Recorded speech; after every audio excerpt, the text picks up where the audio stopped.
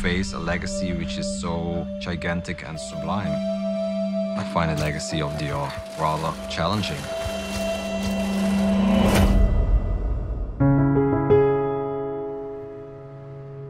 Euh, je voulais dire la bienvenue à Raf. I feel very humble to stand here.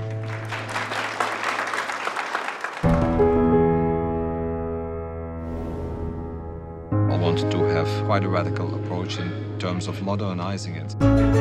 Raf wasn't the obvious candidate. People said, oh, he's a minimalist. Because of the history of Dior, people are fascinated by what will happen. Oh la la la la. Ouh.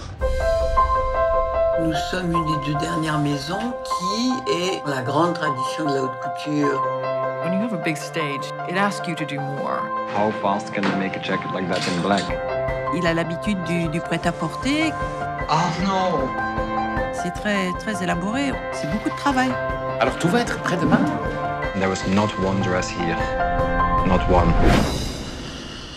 I never give up until the first girl is on stage. It's gonna look like Versailles. Il y en a c'est dans l'alcool, moi c'est dans les bonbons.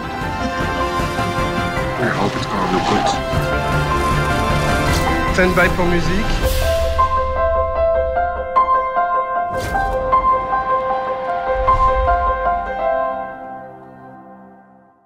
Hi, I'm Valerie. Now, ever since Boyhood debuted at the 2014 Sundance Film Festival, filmmaker Richard Linklater has said that he isn't interested in making a sequel. But during a recent interview, the director admitted he is warming up to the idea of a Boyhood 2. He admitted that he is considering a sequel idea that may explore the college years, and beyond adding that the film will not be told over a long time period like Boyhood. Would you like to see what happens to Mason during his college years in a Boyhood sequel? Let us know in the comments below. Keep it tuned to our channel for all the latest movie news. Bye bye.